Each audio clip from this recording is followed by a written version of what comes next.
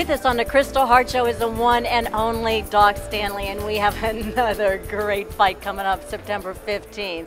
We have Julio Cesar Chavez Jr. against uh, Sergio Martinez. And do you have a prediction here? Yeah, I like this fight. First of all, just always uh, all praise the Father God, my Lord and Savior Jesus Christ, and always great to be on the number one female and the prettiest sports report in New York City, Kristal Hart. It, it's an amazing fight. You know, this is a fight that. Um, uh, it looked like it wasn't going to happen or was delayed, but in talking to Arum and DiBella earlier, you know, Chavez Jr. wasn't ready.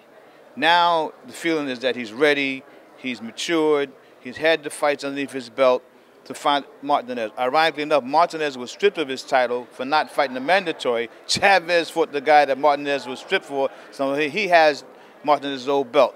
Um, it's an interesting fight, you know, because um, Chavez will be so much bigger than Martinez when they finally fight. I mean, they're going to weigh in at 160, but by the time they fight, you're going to have a light heavyweight fighting the middleweight.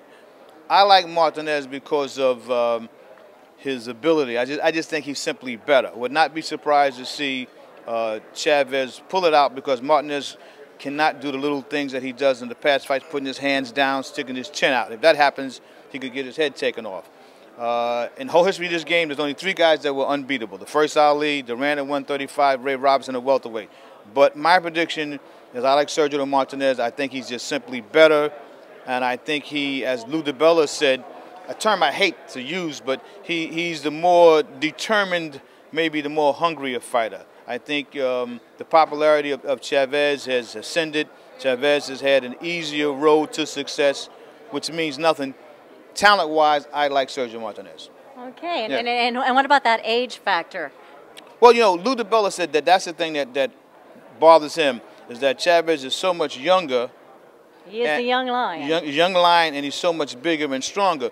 But talent wins out, you know what I mean? And I think talent wise, that Sergio um, is the better talent between the two. Even if you look at Chavez now, you look at him, and there's, there's, there's a look of youth, but also there's, there's, there's a look of, of that he's truly not matured enough, he's truly not seasoned enough. I think he's just not good enough.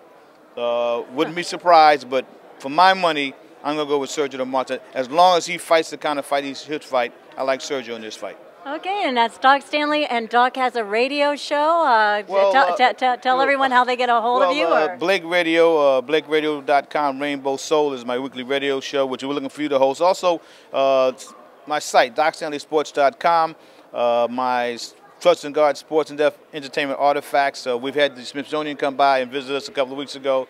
So hit the site. We've got some unique stuff there for you. Um, and also want to remember uh, Leroy Neiman, our friend who passed away not so long ago, has some of his things there. Uh, great boxing personality. Uh, the boxing world misses him deeply. It's a great site, a great site. Thanks Anything so you want in, in sports memorabilia is, is on this site. Yeah, Doc did a, he did a great job. Well, just blessed, but also a light. And also, you know, good well wishes to you. You know, you've had some, some injuries there, and we're all praying for your dad. You know, oh, you've been yeah. a great, great daughter. And once again, Doc, saying it's a pleasure to be here on the number one prettiest number one female sports report in New York City, which means she's the best in the world, the one and only, the lovely Kristal Hart. Thanks a lot, Kristal. Thank you. Love you. I love you too. Thank you, Doc Stanley.